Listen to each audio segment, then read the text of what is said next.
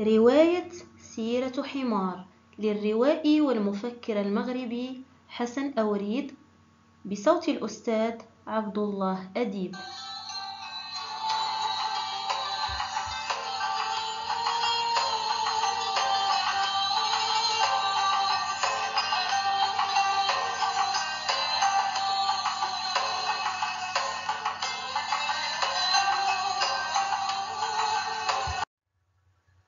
الفصل السابع.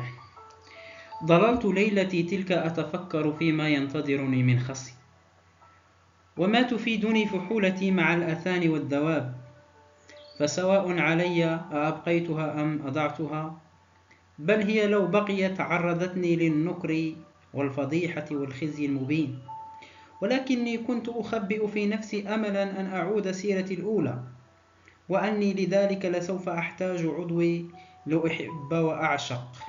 ومع أني لم أكن أرى كيف يمكن أن يحدث ذلك ولكن هذا الأمل على ضآلته هو ما منعني أن أغور في حياتي الحيوانية كلية. وهو ما أحنق كثيرا من بني الإنسان ضدي إذ تبينوا أني لم أكن حمارا كامل الأوصاف. لذلك ما هجع الحمير في أرباد أليلي بعد يوم من العناء حتى تسللت في غفلة من العسس هربا من الخصي. وكانت الليلة مظلمة. فصرت جنوب المدينة حيث تقل الحركة. وغددت الثير كي لا يتاح للعسس أن يدركوني. وكان ما أخشى هو الكلاب. وكان يبلغني نباحها. ولذلك كنت أسرع حين ينقطع وأقصد في السير حين يشتد. ثم صعدت ربوة عالية حتى إذا لاح الفجر وقعت على أرض خصبة تتخللها العيون ويكتر فيها شجر الزيتون ويعبرها واد ينساب منه نهر صغير ذو ماء عذب نمير. وأكببت لأستريح فنهلت من ماء النهر. وقضمت بعضا من العشب وشيئا من النعناع ثم غلبني التعب وتغشاني النوم.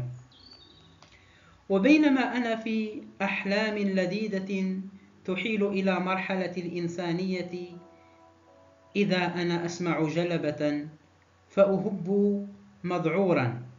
وإذا أمامي جحافل من القوم عليهم لباس من جلد يحملون رماحا ويرقصون بأرجلهم.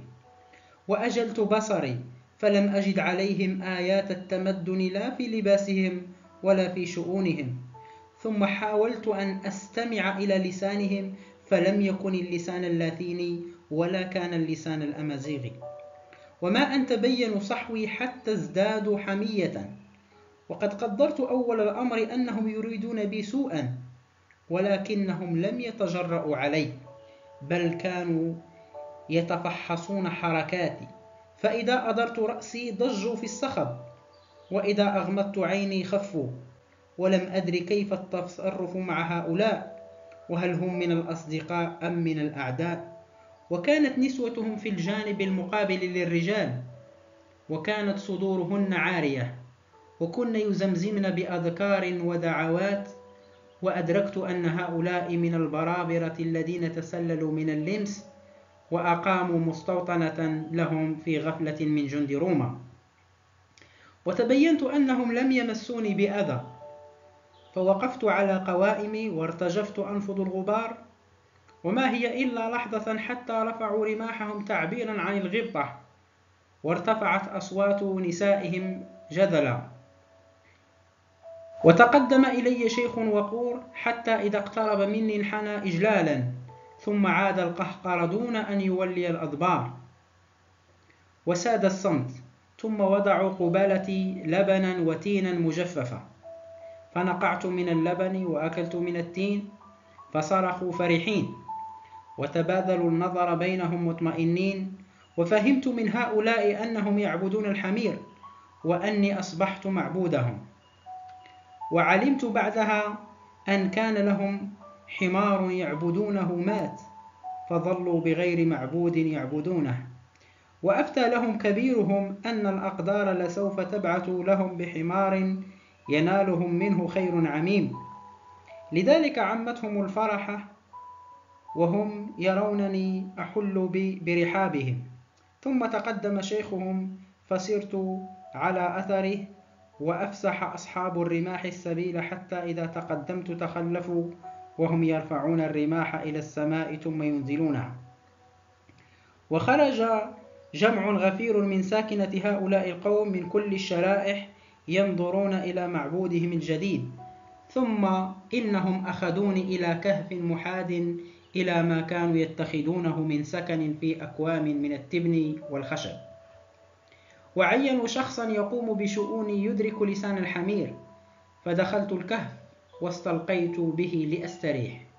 ثم أتى الشخص وانحنى انحناءات ثلاثة وأفهمني إن كنت فهمت أنه رهن إشارتي وأفهمته بإشارة أني أريد أن أنام وخلى سبيلي.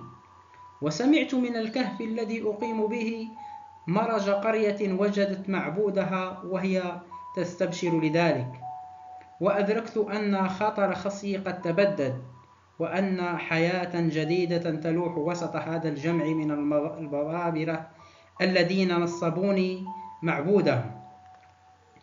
واستيقظت عند الغد وقد ذهب عني التعب ووجدت خادمي على باب الكهف ينتظرني فتقدم إلي في أدب وحدثني حديث الحمير ولم أفقه قوله ثم حدثني حديث قومه فلم أدر ما يقول. ثم أخذ يتكلم ببعض كلمات من الأمازيغية فأشرت برأسي كناية عن الفهم وأدرك خادمي أني حمار لا ككل الحمير وأفهمني أنه سيكتم السر وحذرني أنه إن انكشف أمري فإن البرابرة لن يغفروا لي ذلك لأنهم في حاجة إلى معبود يعبدونه وفق مواصفات وضعوها فإذا تبينوا أني لا أستجيب لتلك المواصفات طاروا علي واقتصوا مني. وأبلغني أنهم شداد في المغالبة غلاظ عند المغضبة. وحدثني عن حياته وكيف أنه اختطف من أليل طفلا ونشأ بين البرابرة من بني سنوس وجعلوه سادنا لمعبدهم قيما على معبودهم. وقد أدرك ما يبتغون فجاراهم فيما يريدون. وقد وعدني أن يعلمني بعضا من لسان الحمير وإليه الفضل فيما تعلمت من لسانها وطرائقها. وقد أخرجني ضحى في يوم يسمونه زينة إلى ساحة واسعة.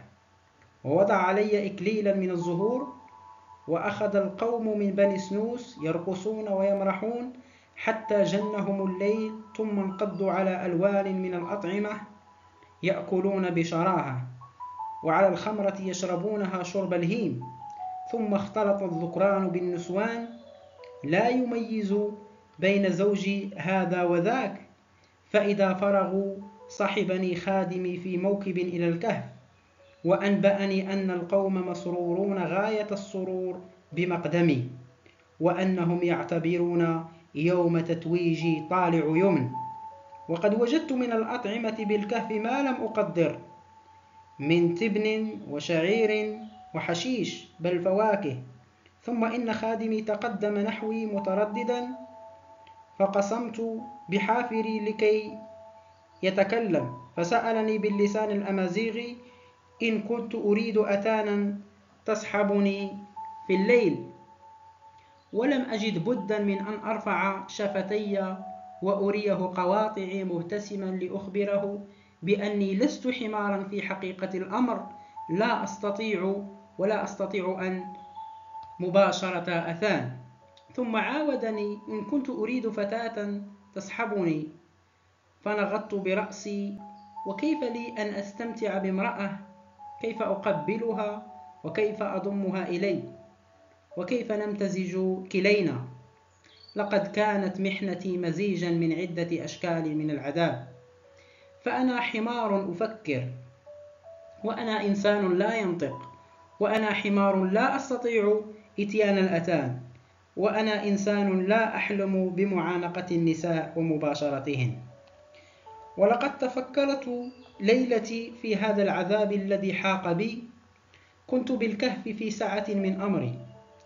فلا بقرة تزاحمني الكلأ ولا كلبا يتهجمني ولا ديكا يزعجني ولا دبابا يقلق راحتي. ومع ذلك لم أنم لقد فررت من الخص لأقع في الأسر في أسر من نعيم ولم أشعر إلا ودمعة تسيل من عيني.